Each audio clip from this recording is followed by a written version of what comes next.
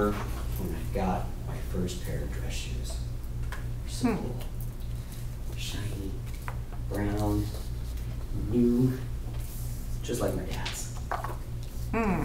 I remember when we were walking out of the store and, and looking over at them, and I, I happened to see in the window our reflections. We're walking along, and I'm like, oh wow, just like my dad.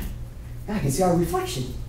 And my, my dad looks over and he goes, shoulders back, head up, people like that.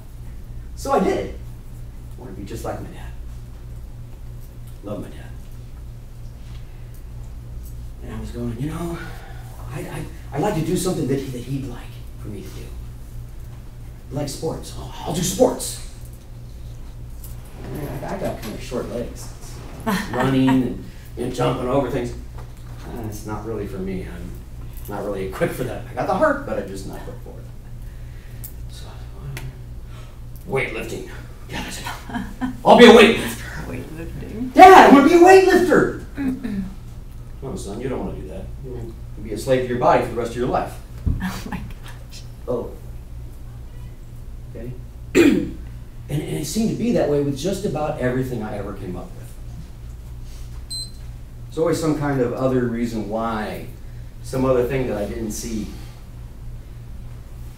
So finally, I, I I ended up leaving all that behind me, and I decided I'd just do some more things, things that I wanted to do.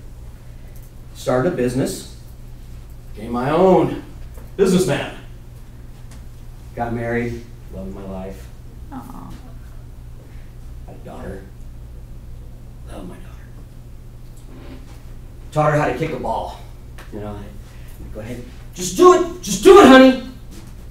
And she did, right at my head. I had to smack that thing to the ground, man. Grab it up. That's it. I knew you could do it. Good job. You'll be better than me.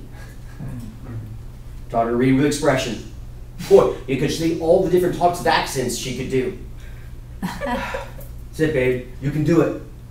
You'll be better than me. And I remember driving home from the store with her one day. Look over at her and she's crying. Pull the car over honey, what's, what's wrong? She's, she's, she's pointing at the radio and I listen to the song, I turn it up a little. It's a song called I'm Not Perfect. And I'm a little shocked.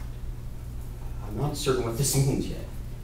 And, and, and well, honey, what was wrong? She goes, of the tears of her face, she goes, I can't be perfect. I, I pull her over and I'm, I'm like, oh, honey, I, I just wanted you to be happy. I, I, I don't expect you to be perfect. Oh, honey, I her on her forehead. I look up and that's when I see my dad's reflection. I'm looking in the mirror.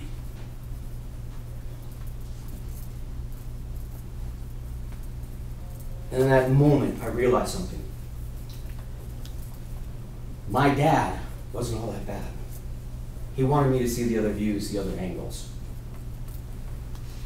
He wanted me to see other reflections. Sometimes in life, when we don't know what we're doing, we reach for what we do know. Don't forget to look for the other views, the other reflections.